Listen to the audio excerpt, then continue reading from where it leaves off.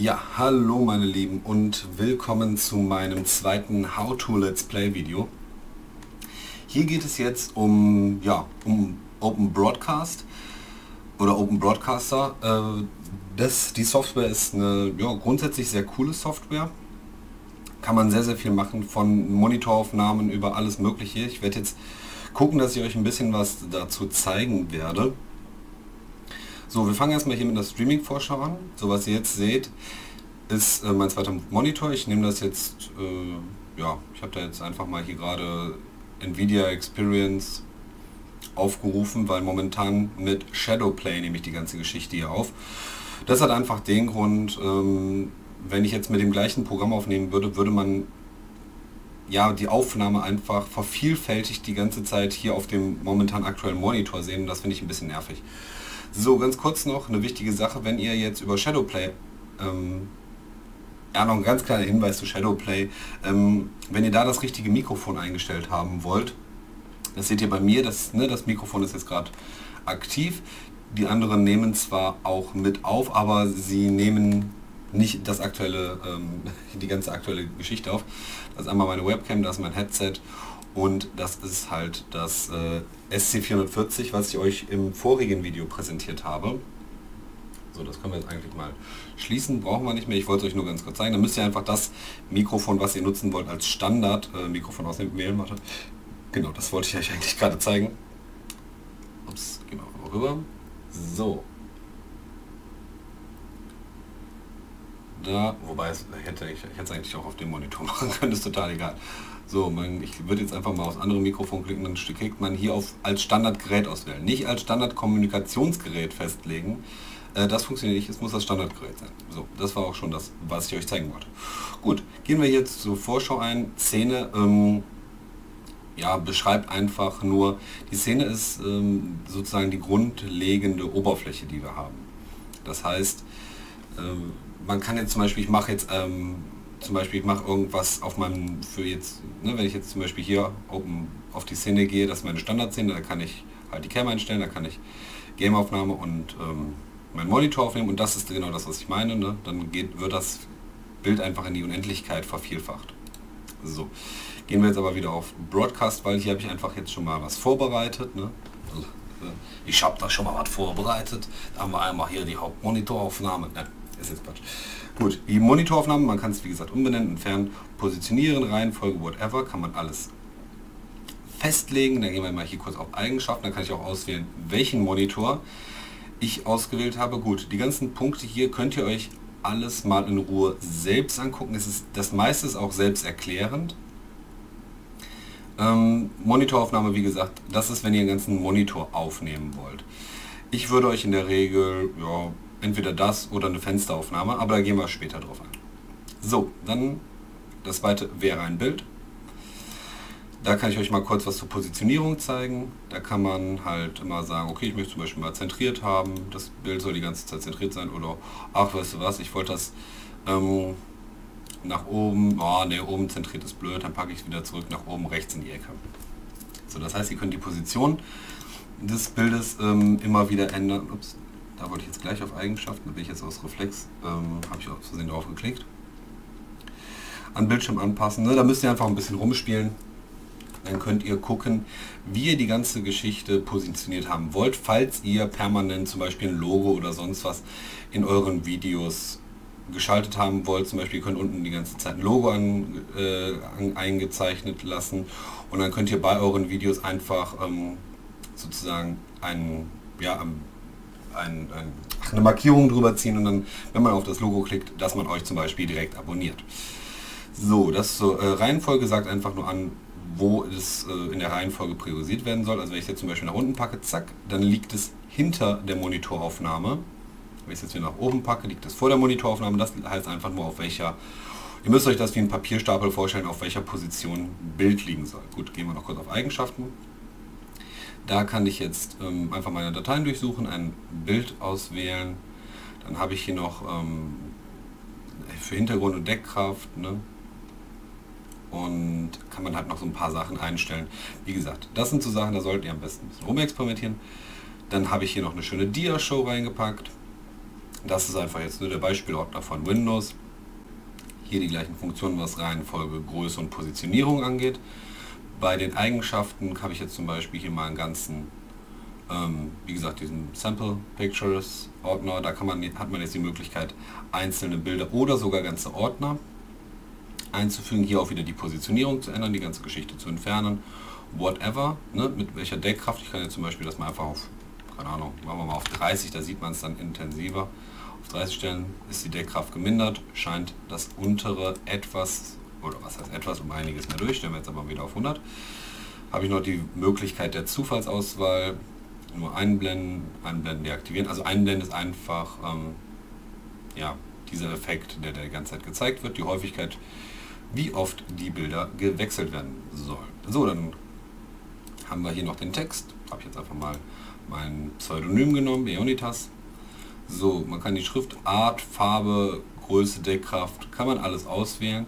Wenn ihr sowas nutzt und ähm, mit Kursiv zum Beispiel arbeiten wollt, wie ich, ein kleiner Tipp, ähm, nutze Benutzer, de, äh, benutze, ben, nutze Benutzer definierten Textbereich. Ich sage das dreimal schnell hintereinander. Boah. So, weil wenn ich das nicht habe, ich mache das mal weg, seht ihr, ist hier das S etwas abgeschnitten. Das hat was damit zu tun, dass äh, im Kursivbereich es mehr Platz wegnimmt, als ihm zugesprochen wird, sagen wir mal. Deswegen habe ich das jetzt einfach mal auf eine Größe von 700, also Breite 700, Höhe 200 festgelegt, mit Umbruch, das muss ich auswählen. Das hat einfach den Grund, weil ich zentriert auswählen möchte. So, dann habe ich noch eine, äh, einen Schatten in meinem Namen gegeben mit Schwarz, eine Stärke, das ist einfach die Dicke. Dann noch eine Deckkraft, seht ihr, das ist so leicht durchsichtig. Wie gesagt, kursiv, Unterstrich kann ich ja auch noch machen. Ich kann es vertikal machen, ich kann Fett und ich weiß nicht was. Gibt halt ein paar Möglichkeiten, ne, was man da auswählen kann. Da kann man auch noch Text, äh, aus Dateien, Texte aus Dateien wählen, also wenn man jetzt wirklich einen kompletten Text sich da anzeigen lassen will, was ich mir jetzt irgendwie nicht vorstellen kann. Oder, wie gesagt, ich schreibe einfach kurz meinen Text. Hier habe ich jede Menge Schriftarten, die ich mir auswählen kann. Ich habe jetzt zum Beispiel hier eine kostenlose, äh, also eine Schriftart mir runtergeladen, die man kostenlos nutzen kann. Da werde ich auch nochmal im Video drauf eingehen, was man so an Schriftarten sich kosten, äh, kostenlos, kostenlos besorgen kann. So, aber so viel erstmal dazu. Dann haben wir noch das Videogerät. Hallo. Ja, das hat jetzt kurz eine Sekunde geleckt. Ähm, das braucht ja auch immer alleine wegen der Datenverarbeitung. So, hier hat man schon, ähm, um einiges mehr zu konfigurieren. So, ich kann das Bild, ich kann das Bild drehen. Ich kann es horizontal und vertikal, ne? kann mich ja wild durch die Gegend schleudern. Ähm, dann auch hier kann ich wieder eine Deckkraft einstellen. Also ich kann es jetzt mal, gehen wir mal runter auf 20. Ich bin ein Ge Geist. So, stellen wir mal wieder auf 100. Audioaufnahme habe ich jetzt gerade deaktiviert, brauche ich ja gerade nicht. Da kann ich jetzt meine verschiedenen Mikrofone auswählen. Da kann man auch hier wieder, ah, da kann man auch wieder jede Menge ähm, konfigurieren. Hier, dann hat man noch die FPS-Möglichkeit. Geht jetzt hier von 50 bis 30. Die Größe kann ich hier wieder einstellen. Ich bin jetzt hier bei einer 640er. Ich kann es jetzt auch auf das ganze Bild ausweiten. Äh, wenn ich jetzt hier OK drücke. Ah, kleiner Lag wieder. Okay. Ähm, hat jetzt irgendwie nicht ganz geklappt, wie ich es mir vorgestellt habe, egal. Ich hatte, wollte, hatte eigentlich gedacht, ich bin komplett über allem. Ich verstehe jetzt gerade nicht, warum der hier überlappt und beim anderen sich unterordnet. Ähm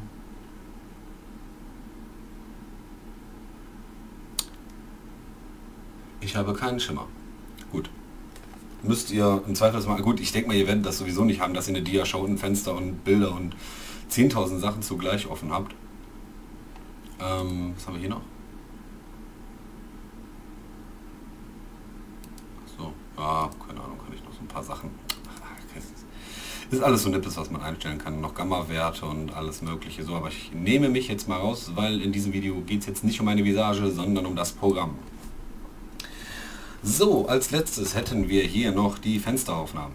Zack. Da habt ihr meinen Kanal. Das habe ich jetzt einfach mal als Fenster ausgewählt. Ich kann es euch zeigen. Ähm, da haben wir verschiedene Fenster, ja, zum Beispiel Windows Experience, Facebook habe ich ja noch, habe ich noch offen, habe ich jetzt hier meinen Kanal, kann ich auch wieder mit Deckkraft, pipapo, Ausschnitte kann ich auch nur zeigen, wenn ich zum Beispiel nur bestimmte Stellen zeigen möchte, kann ich euch mal kurz auswählen. Was nehmen wir denn? Oh, nehmen wir mal. Ach, nehmen wir das hier. Ups. Na? Hä? Warum? Ach, stimmt, hier unten ist der Rahmen. Äh, eine Sekunde. Zack. Und zack. Und zack. Dann nehmen wir hier das ganze Banner. So, passt. Okay. Zack. Okay, haben wir jetzt einfach nur sozusagen das Banner ausgeschnitten. Wie gesagt, da könnt ihr auch rumspielen, wie ihr wollt. Da gibt es halt auch verschiedene Möglichkeiten, das zu machen. Ja. So wird jetzt einfach das ganze Ding aussehen. Gut, gehen wir noch einmal kurz auf Szene, ähm, weil ich habe hier noch die Game-Aufnahme, die wollte ich euch noch ganz kurz zeigen. Ich weiß, das sieht jetzt gerade etwas behindert aus. Das ist ähnlich wie die Monitoraufnahme. Man hat hier noch mal ein paar Justierungsmöglichkeiten. Ähm, wichtig ist hier, dass man die verschiedenen Games aufnehmen kann. Also, dass man hier die verschiedenen Games auswählen kann. Das Wichtige ist zum Beispiel, ich habe jetzt gerade Insurgency ausgewählt, weil ich dazu letztens äh, Testaufnahmen gemacht habe. Und das Wichtige ist einfach, Open Broadcast muss laufen, das Spiel muss gestartet werden, dann klickt ihr auf Aktualisieren und dann ist oder müsste das Spiel in eurer Liste sein. Dann gehen wir mal zurück, Ach, damit einfach diese furchtbare Sicht mal weg ist. So, so viel jetzt erstmal dazu. Das ist jetzt eigentlich nur Szene und Quellen gewesen. Jetzt gehen wir mal auf die Einstellungen ein. So, allgemeine Einstellungen. Ich habe jetzt mal, ich habe jetzt ein Profil, ne, Deutsch. Das ist jetzt nicht mehr nicht mal so wichtig. Die Codierung ist sehr, sehr wichtig. Hier müsst ihr immer die 264er auswählen. Das ist sehr, sehr wichtig. Ähm, die, die, Puffergröße könnt ihr eigentlich ausstellen. Also ihr kriegt auch immer Informationen, wenn ihr hier irgendwo rüber geht, äh, was das eigentlich aussagt. Bei der ähm, Bitrate würde ich euch empfehlen, wenn ihr zum Beispiel ja so langsame Geschichten aufnehmt. Oh, ich muss mal kurz was trinken. So, wenn ihr so langsame Geschichten aufnehmt, wie jetzt zum Beispiel hier gerade, dass ich meinen Monitor aufnehme, oder wenn ich jetzt Hearthstone-Videos mache oder sonst was, da reicht eigentlich eine Bitrate von, oh, lasst mich nicht lügen, 1000, 2000 reicht völlig aus.